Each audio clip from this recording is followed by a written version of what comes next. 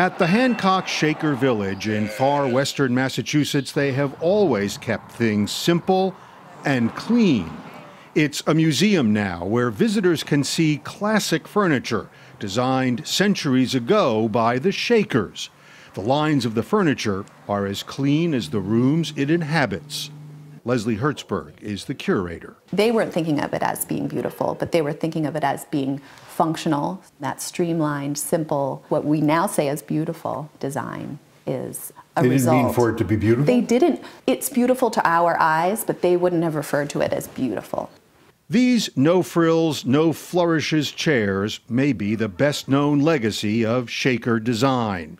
The Shakers came to the U.S. from England and established themselves as a Christian sect in the late 18th century. Their design style followed their lifestyle. It is simple and, above all, practical. This is a blanket chest made in the 1800s. What's the thing on the bottom? That is an extra drawer. The Shakers didn't like to waste space. And so if there was an additional way to use the space more efficiently, the Shakers would find it. They were an innovative group that came up with new ways to solve old problems. As is human nature, everyone wants to tip back in their chair. It's true. it is true. And so the Shakers did the same thing. But what the Shakers figured out was in order to preserve the chair and also to preserve their floors, if you added this tiny little design element to the back posts of your chairs, you could preserve both that back post and your floor. This is brilliant. So it, it, it, it swivels, if I may, Mm-hmm. it swivels with the chairs. You go back. This is brilliant. Invented by the Shakers. and now seen on most classroom chairs for kids. In their heyday in the 19th century, there were roughly 6,000 Shakers in nearly two dozen communities from Maine to Kentucky. Their founder was a woman known as Mother Ann. They lived communally, so cleanliness became, if not next to godliness, at least really close. Mother Ann once said there is no dirt in heaven.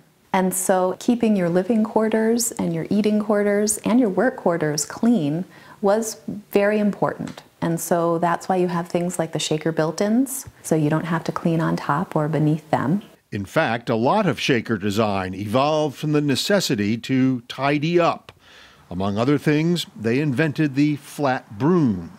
And are the pegs, which you see in every shaker thing, are they, are they for hats or what? They're for almost anything. So not only could you push your, your chair under the table, you could also hang it up on your peg. And why And- would you do that? Well, if you wanted to clean underneath it, but you would often hang it upside down so that dust wouldn't gather on the seat. They brought this trestle from this lower, where it normally would have been, in this lower position. They brought it up into this upper position. Ian Ingersoll is a furniture maker in West Cornwall, Connecticut. And they brought it up to that position so that they could clean under every table every day. It's easier to get a mop under this. Easier than to get a be mop. If there was a Yes, trestle yes. cutting off half of the table. Right. Full disclosure here Ingersoll is my neighbor.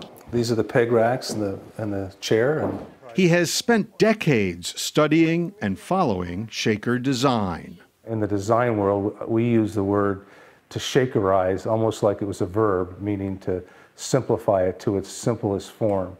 Ingersoll makes Shaker furniture, but he also makes more contemporary pieces, frequently with a glance back at the Shakers. And as a matter of fact, that aesthetic has really driven most of modern furniture design for the last 50 years. The Shakers' designs have stood the test of time and influenced furniture makers of more recent times. But time might finally be catching up with them. Since the beginning, Shakers have been celibate, so new members can be hard to come by.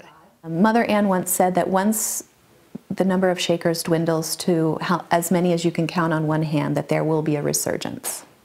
And maybe that's still true.